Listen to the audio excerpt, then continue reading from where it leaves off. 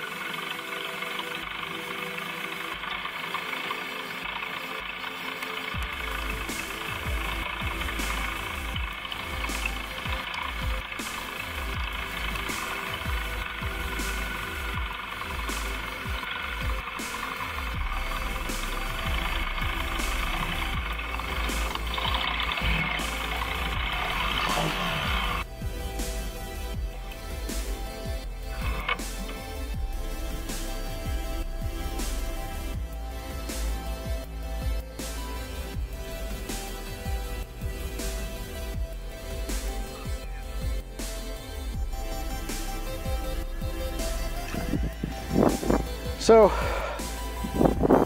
when you get stuck, basically, you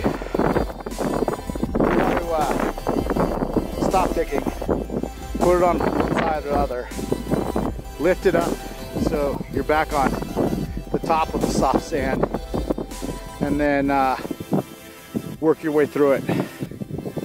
So, that's what I'm about to do. You know, thought I was going to make it past the 24 hour mark before dropping the bike for the first time, but crash bars did well. I actually didn't drop the bike. I got bogged down in sand and I put it on its side so I could get off and then uh, you can see this the side that I sort of twisted it around on. I tried twisting the other side but ran into some sagebrush so no scratches on the paintwork or anything. Once again, it wasn't really a fall.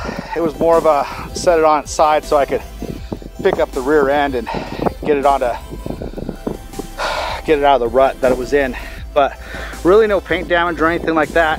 Crash bars work. Um, and they do do what they're designed to do. So I mean this is why you buy one of these bikes. Not for Starbucks, but so on the way home from work you could go into the the backcountry and avoid the traffic. Uh, I am sure 100% that the bike is more capable than the rider.